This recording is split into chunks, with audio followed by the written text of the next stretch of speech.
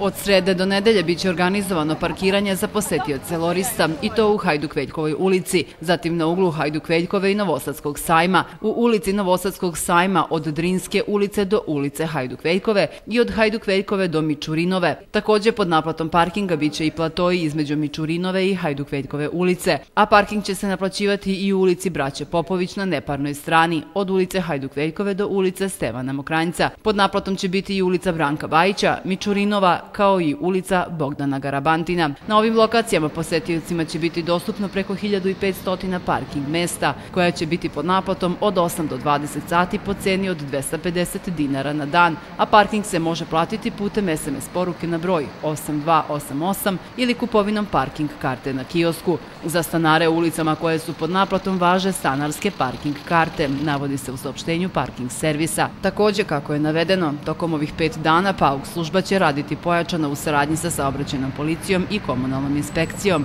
kako ne bi dolazilo do saobraćajnih gužvi usled nesavesnog i pogrešnog parkiranja.